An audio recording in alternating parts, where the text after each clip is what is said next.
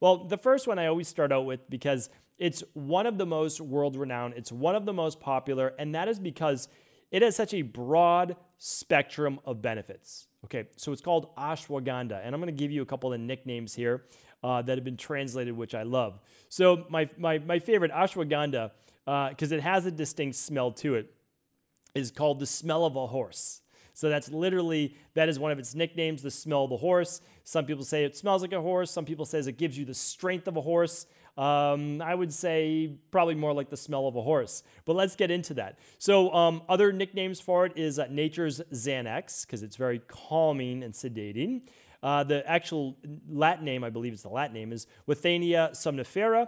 Uh, and it also goes by Indian ginseng. So, if you've heard of Panax ginseng, you've heard of Siberian ginseng before, those are all great. This is Indian ginseng.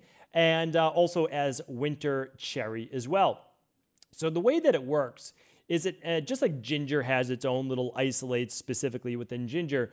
Uh, ashwagandha, remember, comes from the name Withania uh, somnifera, has high amounts of withanolides. And these specific plant compounds um, help to calm the mind, calm the body, calm the nervous system, enhance the libido, enhance the energy based systems of the body.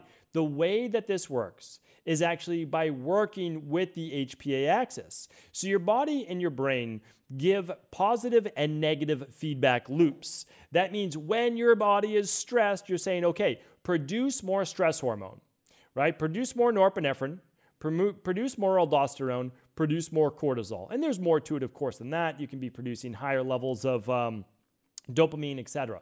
But the body is reacting with more stress hormones, and then when the stress is over, we hope that it's over soon, then the body is supposed to get the signal now stress is calmed, reduce cortisol, reduce norepinephrine, reduce aldosterone. The problem is many of us live in a life of chronic pain, chronic suffering, chronic emotional stress, etc. And that's why we have to again work on those lifestyle wise, but what ashwagandha can do is to help to dampen that effect of stress to help our HPA axis function at a much more normal level. So it's been shown to help reduce stress and anxiety. These are all may, by the way. We, we have to say this uh, from a clinical perspective. We have to say all of these are they may reduce stress and anxiety. They may help with symptoms of depression. They may help boost muscle mass and strength and endurance. They may help improve testosterone and fertility in men. They may reduce blood sugar. It may reduce blood sugar levels. It might have anti-cancer properties.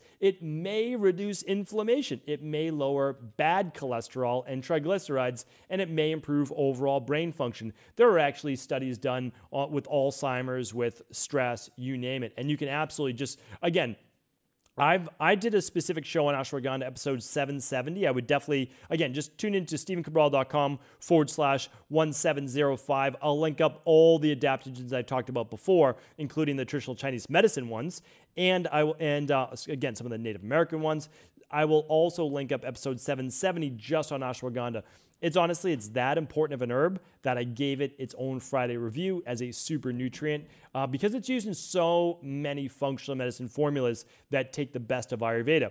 So we've used it in our Adrenal Soothe, we've used it in our Fatlocity products. Like we're, we're huge believers in it because the research is there. So we know that it worked in Ayurveda and has worked for 6,000 years, and we know that it's published scientific research that it works. So again, uh, ashwagandha, really great product, really great adaptogen, good place to start. Okay, but you don't have to just use one. I'm going to share you some more with you because typically they work better. Uh, um, adaptogens work better as synergies. So you'll see oftentimes ashwagandha mixed with some of the other ones I'm about to speak about as well, as well as the Siberian ginseng I've talked about uh, L-theanine, maybe even phosphatidylcholine, or phosphatidylserine, I should say, uh, which helps to dampen those cortisol levels as well. And really help out with that stress response, helps with sleep, etc.